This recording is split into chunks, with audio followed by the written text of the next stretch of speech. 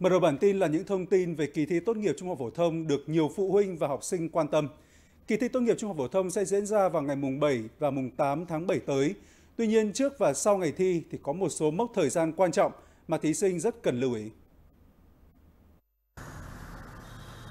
Theo đó, từ hôm nay ngày 26 tháng 4 đến ngày 28 tháng 4, các sở giáo dục và đào tạo có trách nhiệm lập và cấp cho học sinh lớp 12 tài khoản và mật khẩu để các em truy cập hệ thống quản lý thi.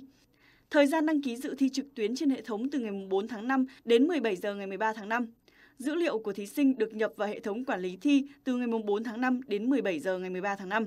Thí sinh ký xác nhận thông tin đăng ký dự thi trên danh sách chậm nhất ngày 21 tháng 5. Chậm nhất vào ngày 10 tháng 6, những trường hợp thí sinh không đủ điều kiện dự thi sẽ được công bố. Từ ngày 15 tháng 6, Hội đồng thi đánh số báo danh, xếp phòng thi. Thí sinh nhận được giấy báo dự thi chậm nhất vào ngày 24 tháng 6. Kết quả thi được công bố vào ngày 24 tháng 7. Kết quả xét tốt nghiệp sẽ được công bố vào ngày 28 tháng 7.